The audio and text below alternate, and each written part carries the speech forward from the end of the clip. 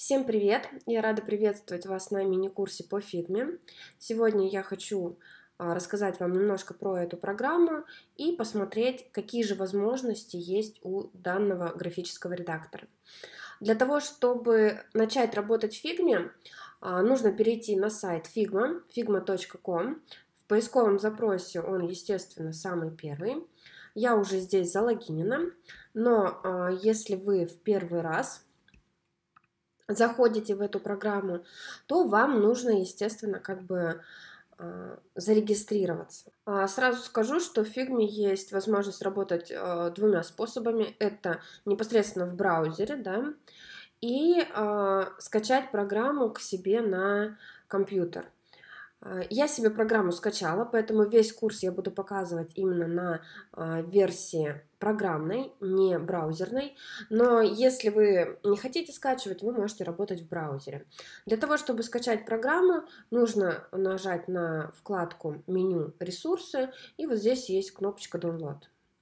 Здесь есть варианты для Mac, для PC, да, и э, можно установить, нажав на любую кнопку. Условно эта программа бесплатная, э, платной версией пользуются крупные компании, поэтому я даже не буду рассказывать про тарифы, поскольку э, этот курс все-таки для новичков и все-таки для новичков-фрилансеров. А прежде чем я покажу, как зарегистрироваться, да, а, мы можем посмотреть вообще, что нам предлагает Figma. Здесь же на главном экране их сайта. Они показывают полный обзор, а, полный функционал а, данной программы. И можно рассмотреть, посмотреть, почитать все на английском языке, но тем не менее все доступно и понятно, какие фишки здесь есть, чем можно пользоваться, как это все применяется. И что здесь можно делать. Ну, во-первых, прототипирование, Данный сервис позволяет делать динамичные прототипы, то есть прототипы, которые движутся. А, об этом мы поговорим чуть позже в других модулях.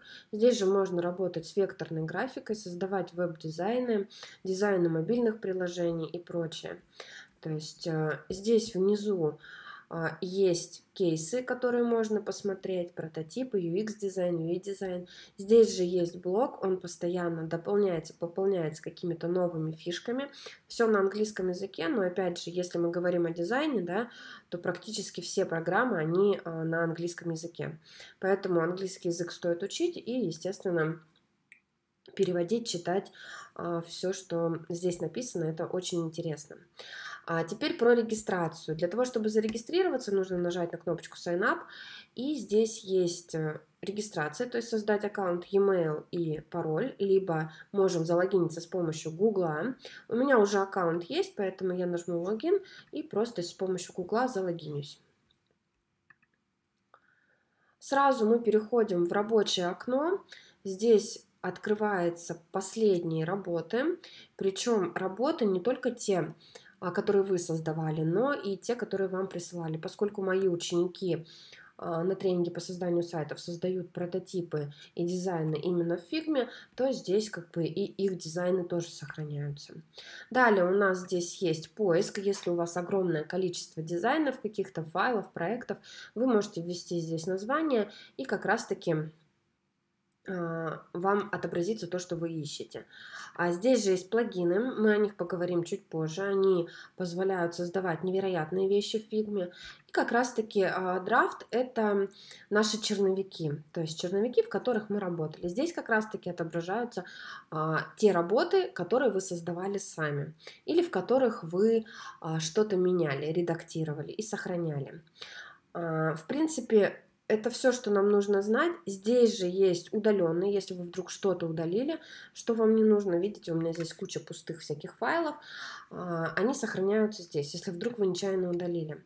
Здесь же есть а, возможность работы в команде, но на данном курсе мы рассматривать это не будем, поскольку работа в команде это все-таки для больших компаний. И, естественно, как бы тариф здесь уже будет совершенно другой.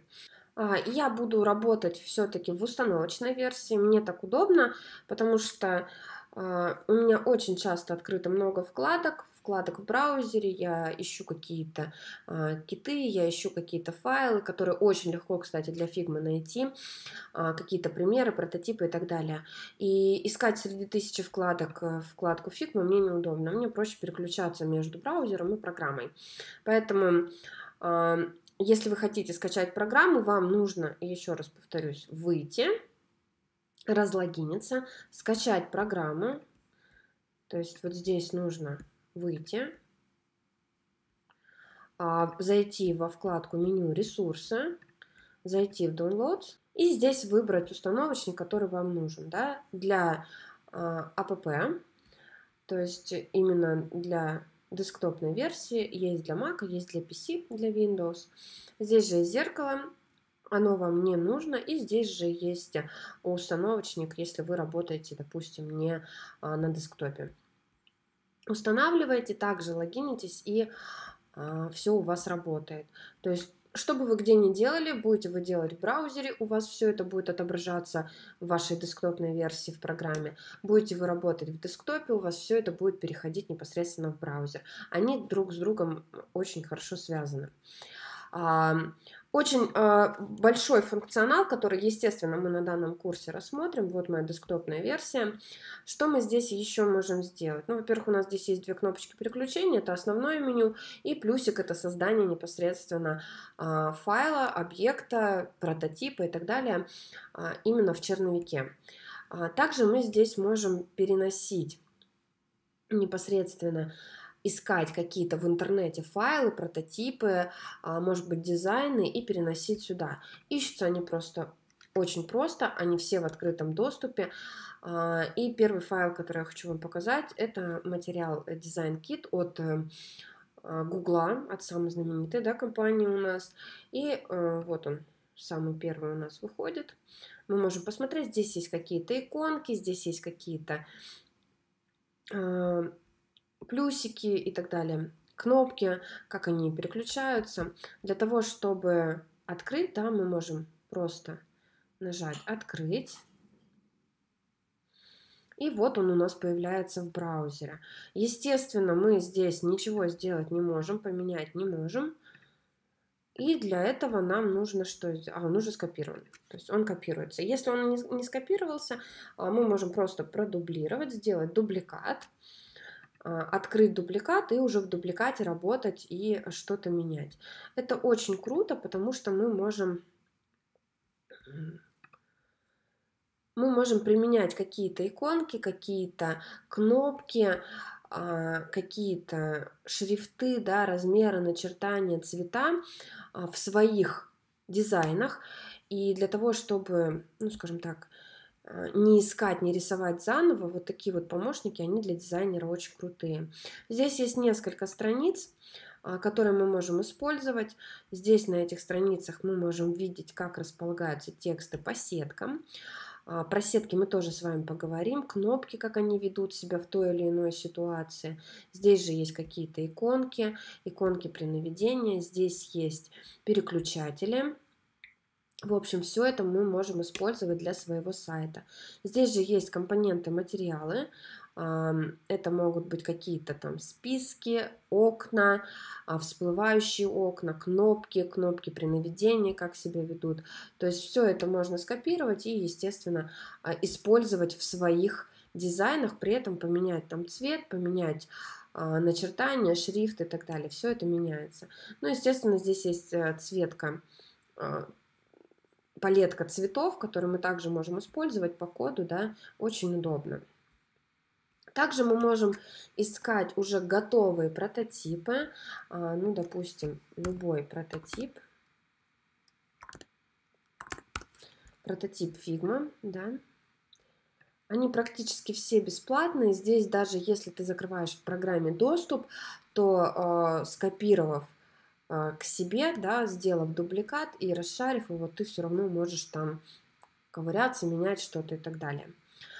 А, здесь есть прототипы, которые мы можем посмотреть. Сама фигма нам дает, как работать с ними. Да, ну, допустим, прототип. Прототип. какого-нибудь сайта. Здесь есть Apple виджеты, вы можете это скачать. Здесь есть уже готовые сайты, и мы можем просто посмотреть, да, как они себя ведут, и э, установить.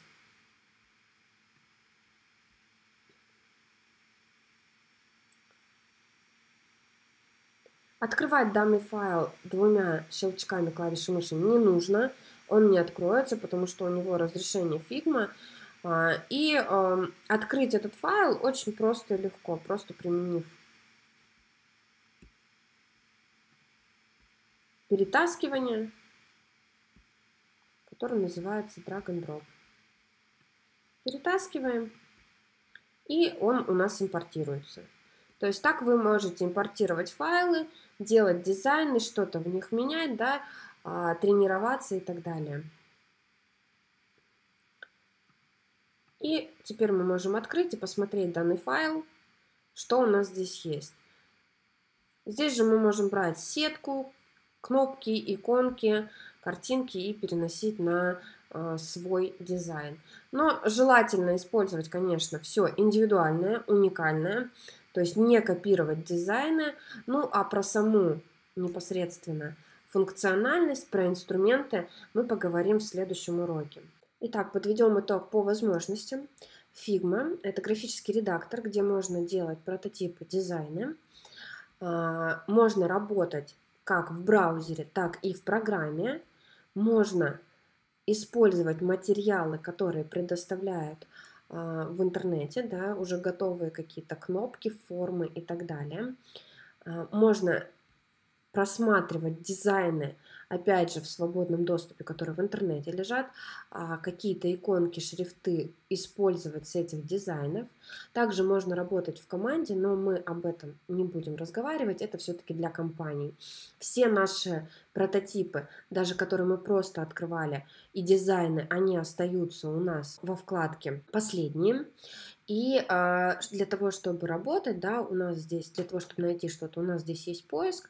Для того, чтобы работать, у нас здесь есть черновики, в которых мы работаем самостоятельно. Если достаточно много у нас дизайнов, мы можем найти по поиску. Для этого обязательно обращайте внимание на названия и запоминайте их. Либо же вы их можете переименовывать под себя для того, чтобы вам было удобно. Потому что если вы будете заниматься дизайном и прототипированием, то э, разных материалов и дизайнов с фичами у вас будет достаточно много. А, для того, чтобы начать работу, для того, чтобы начать создание, нам нужно нажать на плюсик, и у нас откроется новое рабочее окно. Про весь инструментарий и про весь функционал Figma, программы Figma, мы поговорим с вами в следующих модулях, в следующих уроках.